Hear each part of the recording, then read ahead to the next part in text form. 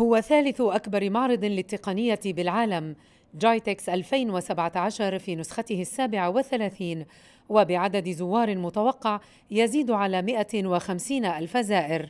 31 شركة وطنية سعودية تشارك تحت مظلة الجناح السعودي بتنظيم من الصادرات السعودية حيث حققت صادرات التقنية في المملكة نموا بلغ 14% خلال السنوات الأربع الماضية. من جهتها تستعرض وزارة العدل في مشاركتها مسارات التحول الرقمي في تعاملاتها وخدماتها في المحاكم وكتابات العدل وآخر خدماتها الإلكترونية وتطبيقاتها التفاعلية التي تسعى إلى إيجاد حلول فعالة لتسهيل إجراءات التقاضي والتوثيق تيسيرا للمستفيدين. المرة الرابعة وزارة العدل تشارك في معرض جايتكس لعرض الخدمات الإلكترونية التي تقدمها للجمهور.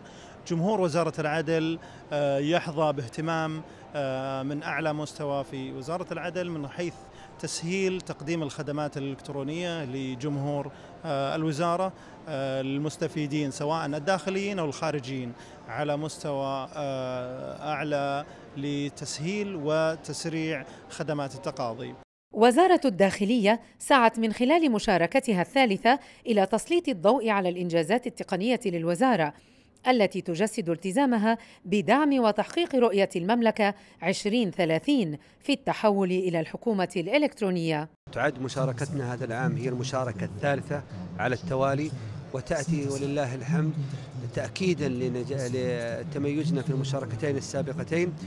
وهي حقيقة تسلط الضوء على خدمات وزارة الداخلية التقنية الهادفة إلى تيسير معاملات المواطن والمقيم من جهة وتجسد إيمان الوزارة الراسخ في تحقيق ودعم وتنفيذ رؤية المملكة 2020 يذكر أن المملكة العربية السعودية أحرزت تقدما ملحوظا في مؤشر الأمم المتحدة للحكومة الإلكترونية إذ انتقلت من المركز التسعين في عام 2004 لتصل إلى المركز السادس والثلاثين في العام 2014 ميلادية. بعد النجاحات المتتالية التي حققتها المشاركة السعودية في معرض جايتكس للتقنية في دبي تأتي المشاركة هذا العام لتكون الأكبر من نوعها وتعكس التطور التكنولوجي التي تشهده المملكة.